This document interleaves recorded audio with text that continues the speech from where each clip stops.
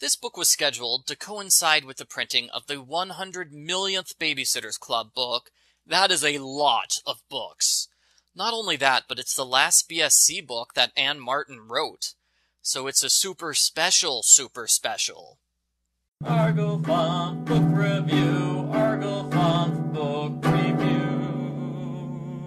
As the cover shows, all the babysitters have a sleepover at Kristy's house. Mallory says she's looking forward to writing her What I Did During Summer Vacation essay. Claudia sighed. It's really a shame, she said, What's a shame? that Mal's such a dork. Hey, I'm not a dork. Am I? You brought a notepad to a slumber party so you could take notes for an essay, Mallory. Yes, you're a dork. The girls discuss essay topics. Jessi thinks it'd be interesting to write about your most vivid memory. And so, the babysitters remember. Kristy begins with a recap chapter. 100 million books, 100 million recap chapters. The sad part is there is no reason for a recap chapter. The entire book takes place several years ago before the Babysitters Club was founded. We don't need to hear how the Babysitters Club works. It cannot possibly affect the story because it doesn't exist yet. Okay, rant over.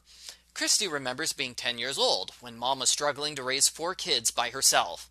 Kristy is impressed by mom's empowering example. She wants to grow up and be just like her. One day, David Michael's babysitter flakes out. Kristy wants to be grown up, so she begs mom to let her babysit him. Mom says yes, and Kristy makes a detailed plan for the entire afternoon. During the sitting job, five different women check in on Kristy multiple times just to make sure she's doing okay. I thought this was a little strange. Mom can't find anyone to babysit David Michael this afternoon, but she can find four people to stop by and visit? Why didn't Mom ask one of them to babysit? Naturally, Kristy's first babysitting job is a success, and a legend is born. Stacey's most vivid memory is getting diabetes.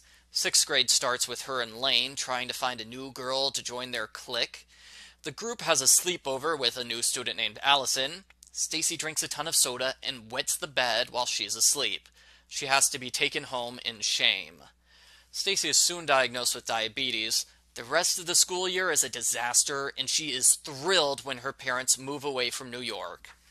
What? Stacey was glad to leave New York? Then why does she complain about missing New York in every single book? Continuity. So, Stacey's story is the prequel to book number 3. 16 years later, Ann Martin will write another Stacey prequel story. Stacey gets more prequels than Star Wars. Six year old Claudia is excited when the art teacher gives them homework. They have to draw self portraits. The instructions are to draw yourself the way you see yourself. Claudia draws the best butterfly picture she can, using up every crayon in the box. She's proud of her picture, but the art teacher gets mad and criticizes her for not following directions. Way to step on kindergartner's dreams, Miss Packet. Claudia runs home crying. Grandma Mimi confronts Miss Packet and explains Claudia was following the rules. She drew herself as a butterfly because she sees herself as a free spirit. Claudia's creative, and Mimi won't stand for teachers punishing her just because she's an individual. Grandma Mimi is so amazing, truly, and that's how Claudia's love affair with art was born. Jessi's most vivid memory is Squirt's birth. Jessi doesn't want to have a baby in the house because they're smelly and noisy, and she's especially upset that she and Becca have to share a room now. Squirt is born premature and he has colic. This is ironic because in book 45, Jessi had no idea what colic was. Continuity! One day, while mom is asleep, Jessi calms down Squirt by rocking him and singing songs. He finally stops crying, and Jessi decides he's not so bad after all. And thus, a babysitting legend is born. Logan's most vivid memory is when he first met Mary Anne. Aw, how sweet. Of course, he's telling this to Mary Anne, so there's a 50 50 chance that he's just kissing up to her. Logan feels like his life is over when he moves to Connecticut and starts a new school. He notices Mary Anne staring at him during lunchtime, so he stops and stares at her when she's walking down the hallway.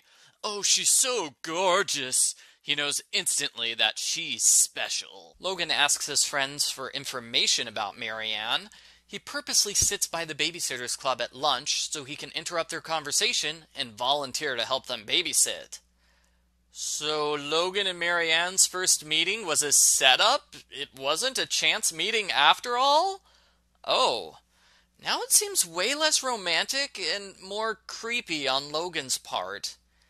Logan has his first babysitting job with Mary Anne. Logan constantly worries that he messed things up, and Mary Anne's gonna hate him now, but she doesn't. She loves him, and uh, thus, another babysitting legend is born. Mallory's favorite author is Amelia Moody.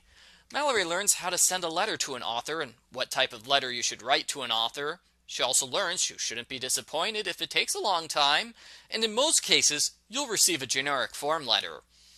Is it just me, or is this entire segment a long lecture from Ann Martin? It feels like an instruction manual on how to send her letters. Mallory signs her letter as your number one fan, which would be a great book title. She goes to a book signing by the author. Mallory practices what she's going to say over and over again, but when the time comes, she freezes up and can't say anything. Also, the author doesn't remember her at all. It seems like this would be a huge disappointment for Mallory since she messed up in front of her idol, but no, Mallory's inspired to become an author now. Shannon's parents are having marital issues that will never be mentioned again. A new girl named Sally White goes to their school. Sally's mother is a celebrity, so they have a huge house, they know all sorts of famous people, and she even has her own horse. Sally picks someone from Shannon's group to be her friend. When Sally gets bored with her, she picks another girl, then another. When it's Shannon's turn to be Sally's friend, she has an astronomy club test to study for. Sally is mad that Shannon would rather study than hang out with her, so she ends the friendship after less than a day. Sally is never going to have real friends with that attitude. Too bad she doesn't know the BSC are the best friends you'll ever have. Actually, I noticed some books are being advertised as America's favorite girls now. After 100 million books, I guess the Babysitters Club has earned the right to that slogan. Well, thanks to Sally, Shannon decides she hates making friends with new girls, and that's why she was mean to Kristy when they first met in Book 11. Dawn remembers her parents' divorce. It starts with her parents fighting over small things. Then Dad goes out with his friends all the time instead of coming home. Mom and Dad yell at each other a lot, and Dad stops coming home for days at a time. For some reason, Mom sleeps on the couch then. I don't get it. If your husband isn't home, how is he making you sleep on the couch? Mom accuses Dad of being a liar, and he leaves for a long time. When he returns, they announce they're getting a divorce because of irreconcilable differences. They don't agree on money or lifestyle or anything. I'm a little confused here because Dawn's mom goes on to marry Mary Anne's dad, and they are far less compatible on those topics, but they have a really solid marriage. I think something else must be going on here. Dad says that mom left out the most important thing, but mom interrupts and we never find out what it is. I've seen multiple guesses as to what happened to break up the marriage, I'm curious why it's not an issue for Dad and Carol's marriage, but that's neither here nor there. Dawn moves to Connecticut with Mom, where they buy a new house and she meets Mary Anne. Finally, Mary Anne remembers when she was eight years old, Dad had to go on a business trip, and Mary Anne didn't want a babysitter. She's really mouthy to Richard here. I mean, yeah, she's eight, but she always claims that her father was super strict and never let her get away with anything. Here, he lets her get away with fighting, backtalk, and he gives her a sleepover. That does not sound like a strict dad. Mary Anne's babysitter is a mean older woman who refuses to let Mary Anne have a brownie after school. At the sleepover, Kristy decides to prank the babysitter. They put pepper in her salad and tack her shoes to the floor. Mrs. Tate is amused by the tricks, and they have a lot of fun pranking each other. Mary Anne realizes babysitters are okay, and thus a babysitting legend is born. Oddly enough, Mary Anne's dad got Mrs. Tate through something called the agency. I had no idea Stoneybrook has an agency which provides parents with quality adult babysitters. We are never going to hear about this group again. So let's pretend Kristy forced them out of business because she didn't want the competition. The end. Post book follow up. I liked this book. The premise was unique, and I liked how all the stories were separated. I've said this in other super special reviews. If Stacey has a three chapter story, which is completely unrelated to the rest of the book, there is no good reason to have an 80 page gap in between the different chapters in her story. I much prefer reading Stacey's three chapters all at once with no random separations. Everybody gets three chapters, except Claudia, Mallory, Mary Anne, and Shannon, they only get two. Claudia's story was heartwarming. I liked seeing Mimi again. I didn't think Kristy's story was all that interesting, but it makes sense that she fondly remembers her first babysitting job. Mary Anne's story was interesting too, although the story was directly copied from book 36. An older woman who's a mean babysitter but becomes nicer after she gets pranked. Yeah, that, that's a repeat storyline. The funny part is that if a kid tried this on one of the babysitters, the BSC would not put up with it. Poor Mallory's story was a mess. It feels like Ann Martin lecturing fans on how to act towards her, complete with some Mallory humiliation. Jessi's story was an interesting angle showing how she originally hated her brother. I kind of wish we got to see more of her old neighborhood because she mentions it fairly often in her books. Shannon, Logan, Stacey, and Dawn all talk about what they were doing immediately before they joined the Babysitters Club series.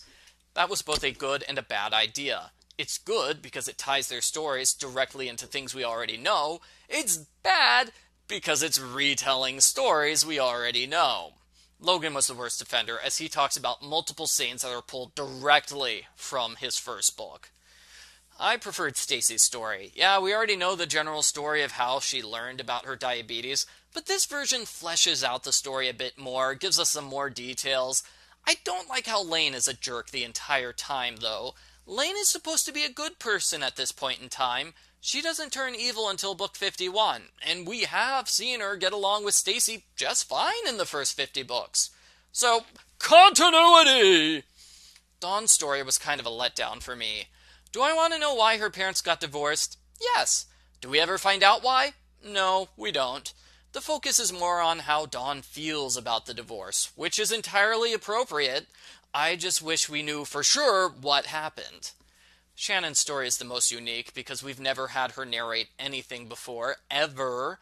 But like Stacey's story, it's about a new girl moving to school and causing problems with the narrator's friends. I wish Shannon had gotten a third chapter just to flesh her out a bit more, because she's still mostly an unknown character to me, despite showing up in so many books.